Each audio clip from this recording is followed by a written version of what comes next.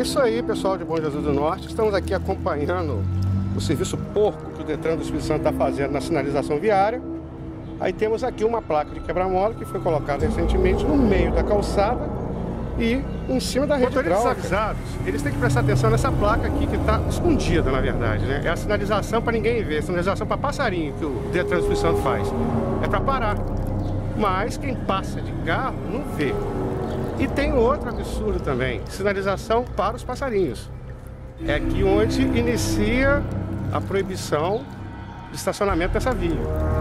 Mas olha onde colocar a placa. Além de ficar no meio da calçada, comprometendo a acessibilidade, ela ainda não tem serventia nenhuma, pois ela não sinaliza nada, que ninguém enxerga. O motorista em condições normais não vai ver essa placa nunca. Eu estou mais ou menos na posição de fica o motorista.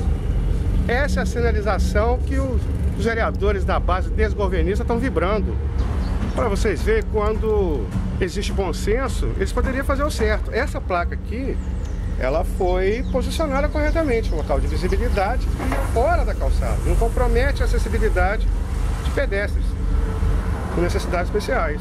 E por que, que as demais não são assim? É essa a questão. É ordem, são ordens de vitórias. Ordens de vitórias, seu Marcos.